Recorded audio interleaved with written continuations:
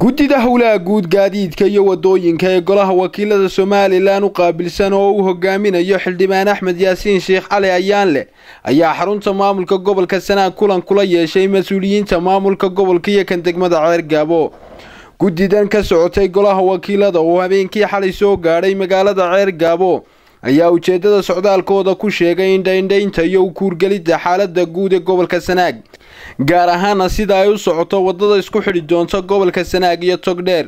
Ugu horeyna waxaa halkaasi ka hadlay guddoomiyaha guddida howlaha guud gaadiidka iyo waddooyinka ee golaha wakiilada somalilan xildhibaan axmed yaasiin sheekh cali ayaanle aad iyo aad bay farxad noogu tahay inaanu maanta halkan kulan ballaaran kula leenahay maamulkii gobolka sanaag.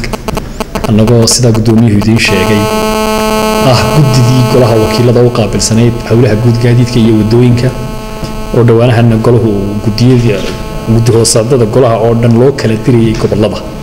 Ka warqabteen baa laga yaabaa in gudiyo qaarkooda gobollada togdheer awdal saaxil intoo dhan annaguna guddidii maadaama aanu waddooyinka nahay waxaanu ku soo naloo soo diray gobolka sanaag guud ahaan xaaladiisa inaan ka soo waranno gaar ahaana jidkii weynaa ee halbowlaha ahaa mashruuca ugu ballaaran ee somalilan laga wada ahaa inaanu xaaladiisa xog ogaal dhaba u noqono si aanu warbixin waafiya golaha wakiilada uga siino.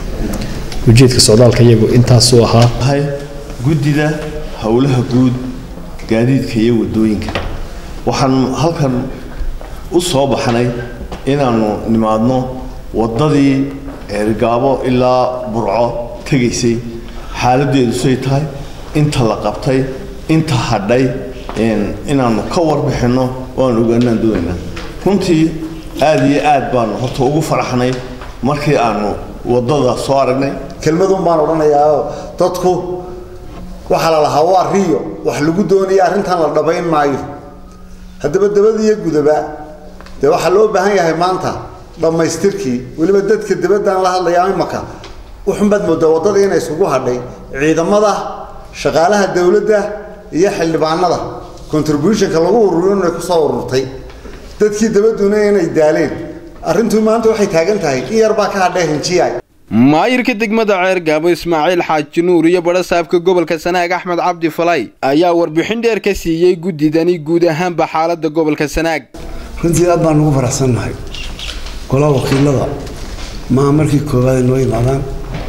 Dhowr jeer horena waa noo yimaadeen. Qolyo kale warshid jay oo degdega oo cusub oo weyn bay baantay daamirkii waa u yaallaa daamir fara badan baa yaalla shan iyo labaatan kuna fursad u yaalla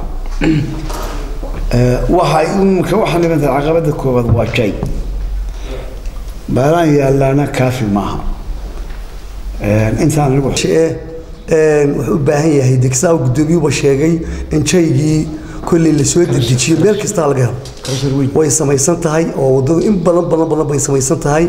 Aad iyo aad baan runtii ugu mahadnaqaynaa annagoo ka wakiila dadweynaha gobolka sanaag guud ahaanba madaxweynaha jamhuuriyadda somalilan mudane axmed maxamed maxamuud siilaanyo mashruuca ugu ballaaran ee dalka laga bixiyey ama laga qabtay waa mashruuca dhanka kalena guddoomiyaha gobolka sanaag axmed cabdi falay ayaa ka hadlay hadal ka soo yeedhay. Guddoomiyaha gobolka sanaag ee xisbiga wadani cid ay la mucaamilaan iyo cid wax ka sii amaahdaan iyo cid kale toonna aan haysan ee aanu baaqa u jeedinay in ay loo soo gurmado maadaama xoolahay ku noolaayeen aanay wax macaanay lahayn. Hoy ay galaan aanay jirin agab aanay haysan gaadid ay rabtaan aanay jirin. Ninka loo soo dirtay gobolkii xisbiga qarabku ay u soo dirteen ee dadkii uu mas'uulka ka ahaa ee macnaha walaaladii ahaa yidhi maxaa loo soo samaynayaa? Dadkaa looga waxaynaya waa ayaan dar rabaan leeyahay ilaahay ha ku garansiiyo wanaaggu waxa uu yahay cabdiraxmaan axmed ilisar shabakadda harwanaag news magaalada ceergaabo